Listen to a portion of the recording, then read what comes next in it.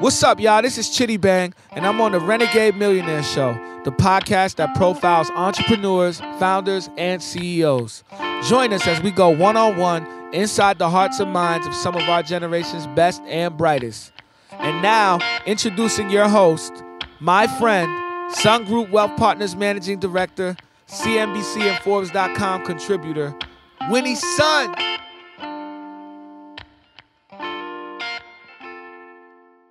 Well, hi there, and welcome to the Renegade Millionaire Show again. This is your host, Winnie Sun, coming from LA's TuneIn Studios. As you know, I'm a financial advisor and managing director at Sun Group Wealth Partners in beautiful Southern California. So I'm really excited about our guest today. But before we get there, I, I thought I might share an interesting fact with you. Did you know there was a there was a study about compulsive hoarding that's actually more prevalent than researchers originally thought. Hoarding disorder occurs in an estimated two to five percent of the population. This is a really big deal. And there's nobody, anytime you talk about hoarders, hoarding, or even the word hoard, one name comes to mind, and that is my guest today. I'm so honored, excited to welcome Matt Paxton to the show. Welcome, Matt. Thanks for thank you for having me. Well, you are Mr. Hoard, right? yeah, it's it's turned in that way. I tell you, it's it's not a career path anybody uh, goes out to set. But uh, yeah, I'm the I'm the guy that does everything about cleaning up the nastiest homes in the country. Yeah, and we were just talking earlier before we started tape here that I I know that everybody who watches your show ends the show a little bit cleaner. Because you said people, yeah. a lot of people after they watch your show go clean their house. Yeah, I think it's very a lot of reality shows. You know, like I'll watch The Biggest Loser, mm-hmm. and I watch and I say, "Well, I'm not so bad," and then it motivates me to go work out or maybe watch my diet a little bit. And I think Hoarders does the same thing. I mean, people we know about 20% of the people that watch it, they watch because they have they really deal with personal hoarding either themselves or a family member, so they're really looking for advice. And the other half, we just watch it because it's it's it's kind of an interesting train wreck, but it still makes us feel better about our own lives. Yeah. And as far as TV business goes, we're just glad people are watching. yeah, I mean it's a this is a big population we're talking about. Between five to fourteen million people in the U.S. are compulsive hoarders. I had no idea. Yeah, I mean the stat I use on that is we're right in the middle of an election cycle, and you know we think about how much we talk about immigration. Mm-hmm. Well, there's only 11 million illegal immigrants in America, wow. and there's 10 to 14 million hoarders. Like it's a big issue. That's a big number. Yeah, wow. a very big number. I think hoarding should be a political topic right now. We should call yeah, Donald Trump. Not. It's not as exciting. Yeah, I definitely don't want Trump talking about hoarding. Yeah, right. It's uh, you know, it's something that affects everybody. And I want to really quickly say what matters here. No one like sets out to be a hoarder. Right. It's not like a choice. Right. Like something bad happens to you, mm-hmm. and then you start hoarding. It's no different than someone that like they lose their job, they lose their partner, and then they start drinking. Right, right. But we, we don't know why people go to, why their brains go to drinking. We don't know why their brains go to gambling. We just know that they do. And it's the same thing with hoarding. They just happen to go to stuff. But all of them are looking for their happiness and self worth mm-hmm. in something else. And that's what a hoarder's doing. They're just looking for their happiness and self worth in stuff. I know, and I, I, was hoping you could share your story with us. I mean, this is amazing. So you started Clutter Cleaner in 2006, and you were helping um, your own grandmother with her home, right? Yeah, I mean, it's. I'll even back it up a little more. Believe it or not, I went to college to be an economist. Mm-hmm. No. I was actually an econ. I worked for the Federal Reserve. I was an economist for them, and then I was an economist for Caesar's Palace Casinos. And uh, at 24, I lost my dad, my stepdad, and both my grandfathers in about uh, 12 months. Wow. And I just went on a bender. Like I lost everything, and I was really, really sad. Mm-hmm. And uh, living, in, literally living in a casino in Las Vegas, oh, and wow. uh, and just and just couldn't hold it together. And so my life got a little derailed, and I and I had to kind of start over. And I was mm-hmm. helping old ladies clean their attics, and I was helping my grandma, mm-hmm. and I was personally going through some grief counseling mm-hmm. that I needed to go through. Mm-hmm. And at the same time I'm doing that, I'm helping my grandma, and I realized, wait a minute, she's sad just like me. Mm-hmm. And so my little, uh, and, and a lot of entrepreneurs talk about their aha moment. Mm-hmm. But for me, it was cleaning my, my grandma's basement, and we found a golf bag, and she started telling me this great story about my grandfather and that golf bag. Aww. And that, to me, was my aha moment. I was like, oh, wait a minute, this isn't about stuff. Yeah. This is about the emotional attachment. And I started my business that day. By the end of the week, I had helped a couple of her friends and it was really not meant to be this big. You know, I now have 65 locations around the country, and I'm a, I'm a you know a very sought after speaker and all that stuff, but it was not meant to be that way. I mean, what I was really trying to do was just kind of help my grandma, and then trying to make a few dollars. Yeah. And uh, it's amazing how in ten years it, it, it's we've come a long way. Oh, you've come a long way, my friend. I mean, th- I, but I love this line that you said. You know, we all think she's crazy, but she's awesome. She's totally normal. And Hoarders are awesome people. They're fascinatingly cool, awesome people that something bad has happened to them. right, and that's that's that's how they cope with stuff, right? Yeah, It's their I mean, comfort I, I level. coped with I cope with uh, with alcohol and drugs. right. No different. No different. Mm-hmm. In fact, you could probably argue that my stuff was worse. Yeah. I mean, a, a hoarder can't help it. They don't want it. It's just theirs is so visually messy Mm-hmm. that it's easier for us to judge them. Right, right. I mean, we've seen your show. We've seen you find some pretty icky stuff, and you find Oh, some yeah. pretty cool stuff. But yeah, it, it it's crazy. Well, sixty five locations. How did you, how do you manage? You are one busy man. Well, I got smart. Instead of franchising or doing corporate owned, I partnered with a very big national partner. Okay. And so I partnered with ServiceMaster Restore, and I now train their franchise. And so I have 65 locations with a with an existing huge company that had 800 locations. So I was able to cherry pick their best franchises. And now we can offer hoarding, specialized training, hoarding cleanup Mm-hmm. in pretty much any location in the country. We can get there within two hours now.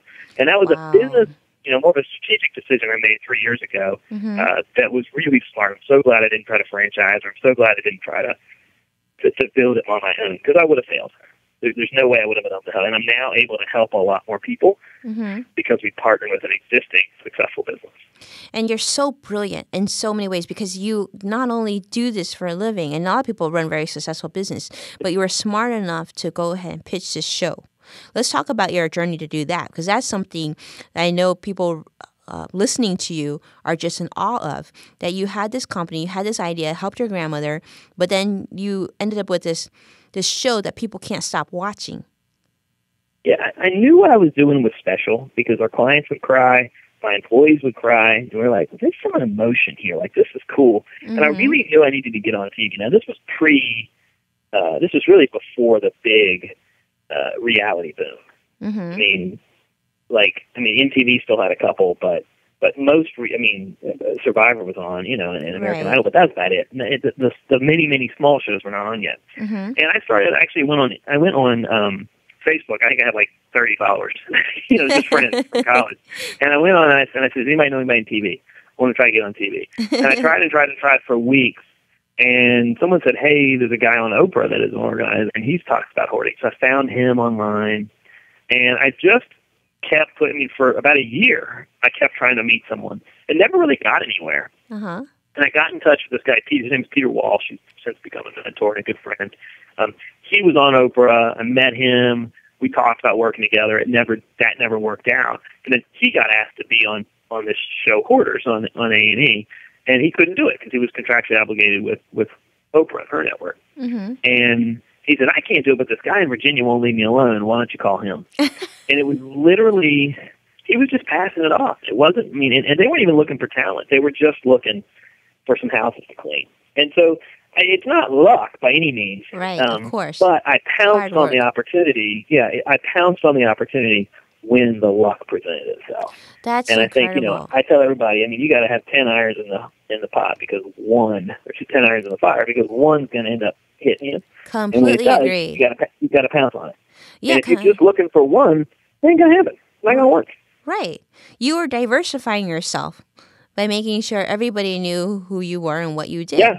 So I mean, my business clutter. Yeah, my business clutter cleaner. At one point, we were a recycling company. At one point, we were a senior moving company. At one point, we were a uh, just a, a basic cleaning company. I mean, we always adjusted. We liked the hoarding, right. um, but it took us five years to figure out how to make money on it. And the first three years, we we, did, we were a moving company half the time. Yeah, because I can imagine. Because I can't see most people thinking, "Hmm, if I create this company to help people declutter, I'm gonna I'm gonna have 65 locations." Because you know many businesses would would fail because there wouldn't be enough customers. But this was smart. Yeah, I mean, and, no- and none of my clients want to pay for my services, and none of my clients want to admit that they have a problem. You know, and so we we knew it was kind of like the first time I heard uh, Puff Daddy get interviewed, and he said, "Man, I was tell I was selling tapes and CDs to people that didn't have any money." Mm-hmm. You know, and so he said, "You gotta, you gotta sell my lifestyle." And so for me, I knew not that hoarding is a lifestyle, but I knew I needed to get on TV and I needed to show my compassion side. Mm-hmm. And mm-hmm. to be honest, I mean the the uh, the TV show was not exactly a revenue maker the first couple of years. Of course, I mean I was some dude that cleaned up poop for a living. That wasn't cool. You right. know, what I did do well was I strategically personalized myself with the order, and that's just how I do business. I, I, I speak very candidly. I speak to them as they're my as if they're my grandmother or my mother. Mm-hmm. I speak to them as they are my friend because they really are my friend. By the time you see me on TV with them, I've spent three or four days with them. Right. And so the rest of the world was being politically correct. I was like, nope, I'm going to tell like it is. Right. And right. that's what the viewer identified with, and that's why I was able to stand out and and and, and become successful out of the show. Only because I did what no one else would do, which is drop the PC and just keep it real. And just keep it real, keep it raw. Yeah, so this is interesting. So I, I actually had thought that perhaps you were the one who came up with the idea and pitched the show, but that wasn't the case. The show was going to go into production, and they just needed someone really good, and, and it just happened to be your specialty. They were good at it, and I had luckily planted enough seeds on the internet mm-hmm. that when they started to look for me, they found me. So, I mean, I had a couple YouTube videos I'd made myself. This is you know seven years ago, six years ago, mind you, when they were looking right. to make the show. Right. I mean, you gotta whatever your viewer is doing, you gotta make yourself an expert. Mm-hmm. And if you're mm-hmm. just copying someone else, who cares? Exactly. What's unique about you? What makes you uniquely better than the rest of the world?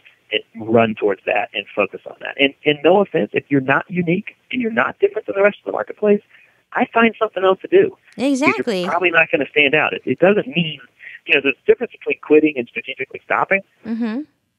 Strategically stopping is changing pivoting because you're not going to be successful.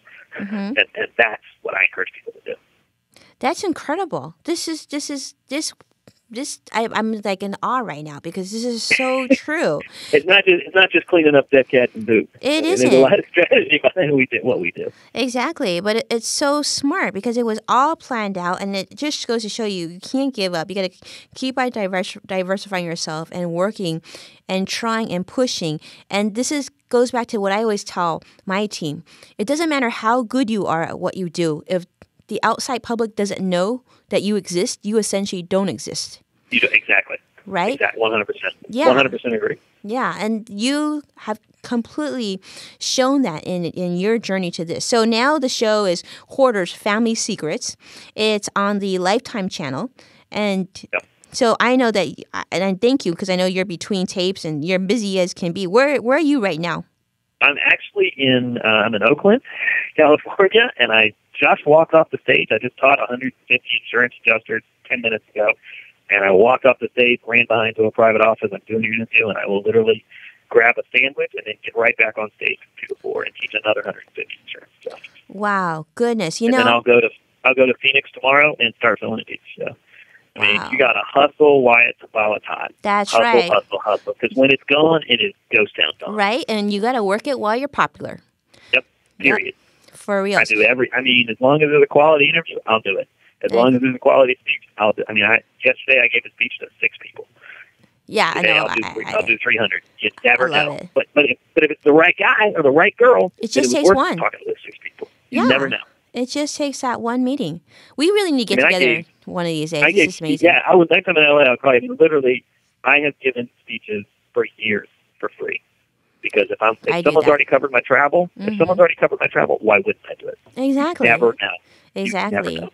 Yeah, you know that's that's true. You know, Wing Lam is uh, the CEO of Wahoo's Fish Tacos is a friend of mine. He told me this. He said, "I'll always do it as long as I know I'll have a good time." And I say, well, you know, if you if you think that way, I I can't see why other people don't feel that way as well. But that's what differentiates the great from the, you know, not mediocre, but you know that that that keeps on humming along. So yeah, you, I mean, I'm not, you know, I'm not a bazillionaire yet. I mean, I'm I'm a break even I've paid all my bills now, which is really cool. Yeah, you know, that's and good, I'm, huh? I'm doing fine. I'm putting a lot of money away, but like, you know, I, I I'll keep going until until no one will, is willing to listen to me. I mean, when everyone's like, "Get off the stage, dude. We don't care," that's when I'll stop. But yeah. until then, I'm. I mean, I'll talk to anybody, and I have like, like I have fun. If I'm on stage talking, I'm gonna have fun. If I'm making a difference and helping somebody, I'm gonna have fun. Yeah, of you course. If I'm just there for the cash, I gotta, I gotta ask myself, why am I here? I don't think I don't think you could do cash. that. I don't think it's in I your don't. DNA. I mean, I, I yeah, I suck at that. I mean, so if it's just for the money, I'm not going to be good.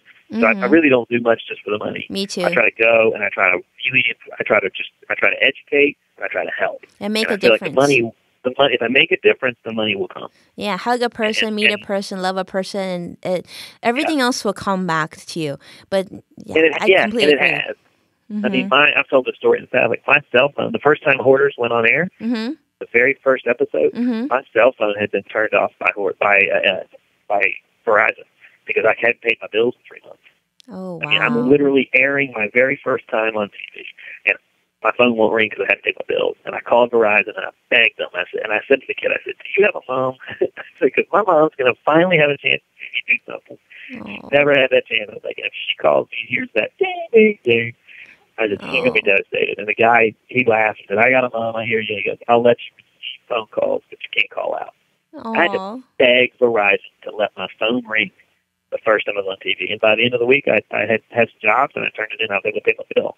I mean, I don't want people to think that like I was killing it. You know, I literally had to beg just to get a phone call after being on TV. I know, and people. I mean that that that's something that's very interesting because people always ask me like like because I run a financial services firm and people always say, well, you're Yeah. on CNBC and you write for Forbes, so you know you got business coming out of your ears. I'm like, you know you- that.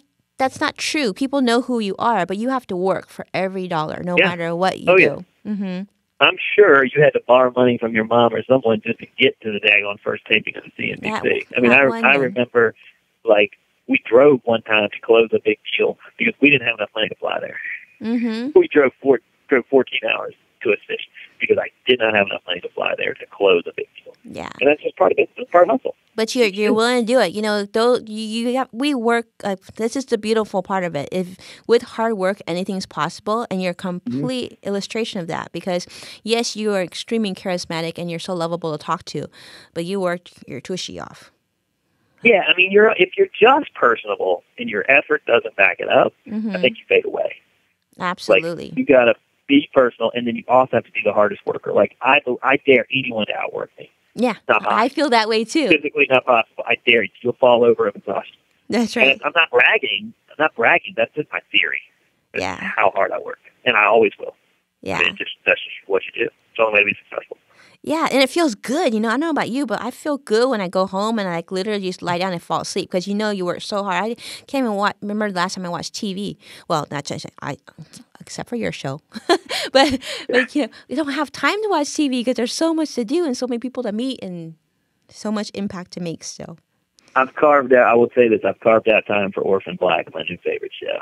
oh, It is uh, absolutely incredible. Okay, you to totally disap- you totally disappear. You're like in their world, and it's a total vacation. And I love it. It's an hour long, and I, I think I've tried to. I will say this year I've gotten a little bit better at turning it off. Like I now turn off on Saturday. I totally with my kids, my wife on Saturday, and I don't check email. I don't even turn my computer on anymore on a Saturday. And, and, and that's that's come a long way. I mean, I used to have to work every every Saturday and every Sunday morning, and I mean, so just to have a Saturday off with my kids and to be able Yeah. to totally be present, that's that's success to me. That's awesome. Yeah. You know, success to me is dropping my son off myself to first grade. Makes me, nothing makes me happier. The best just- feeling yep. ever. I just put my oldest I just put my oldest on the bus to kindergarten last week. Aw. And it was the fact that I had a home in a neighborhood where my kid could get on a school bus. Mm-hmm. That was amazing. Like that was like, you know, people always like, well, what did you buy with your first million? Did buy a Ferrari? No, man. I put my kids in school. like, that's the greatest, the greatest feeling in the world. That's awesome. And you found a good school in a good area. Good school, and I bought a swing set. I remember when I got interviewed for some like millionaire show, and they were like, "What's the most money you ever spent on something?" I was like, "Man, I spent three grand on a swing set." Okay, like, that, that- that was really that's a pretty and pimp- like, That's a pretty pimpin' uh, swing set, though, for 3000 yeah, it's, it's, it's a pimped out swing set, but they're like, "That's the most boring answer we've ever heard." I was like, "Sorry, man. That's where I spent Sorry, that's reality. Stuff for my kids." Yeah, No, I love funny. it. I love your answer because that that's awesome. So, what do you got? What do we, we what do you have to look forward to? What do, what can we follow you on? Well, we've got um, follow me on on Twitter at I am Matt Paxton. You can follow me on Instagram at I am Matt Paxton. Uh, you can go to I am Matt IamMattPaxton.com. Um, I'm doing a ton of public speaking about hoarding education all around the country. If you go to any other place, my schedule. Uh, we're finishing up six of Hoarders. I've got 15 episodes that have not aired yet. Uh, Lifetime will announce when that's coming. I think it's early winter. Uh, we've got some really emotional shows this year, and we've really opened it up, bringing the families in.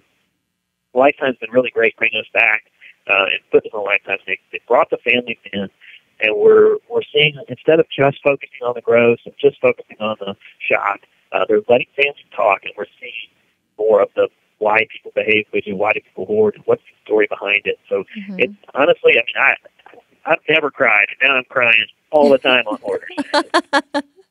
I love that. So they're telling more in the personal story, which is nice. Yeah, yeah, it's great. I mean, the more we do it, the, be- the better. And mm-hmm. um, I tell you, it's just I'm really. It's funny. We kind of found our second win when we went to Lifetime. And they really just said, go back to help people and film it. And it's been really, really nice. And I think it's neat that we, one reason that's why the show has survived on reality. Mm-hmm. If you just are copycat and trying to do what the networks want, mm-hmm. um, the show just doesn't really become anything. But the viewers really still love our show because we're actually showing real. I think we're one of the few reality shows that's actually real. Yeah, it's really I mean, honest. helping family, very honest. We're helping family. Mm-hmm. The cameras are rolling. Well, and, uh, you're pretty awesome too, though. Yeah, yeah. I mean, I'm lucky. I'm in a place to shine. I'm able to help people, mm-hmm. which makes me look good. Um, you know, if I was on The Apprentice, I don't know how good I would look.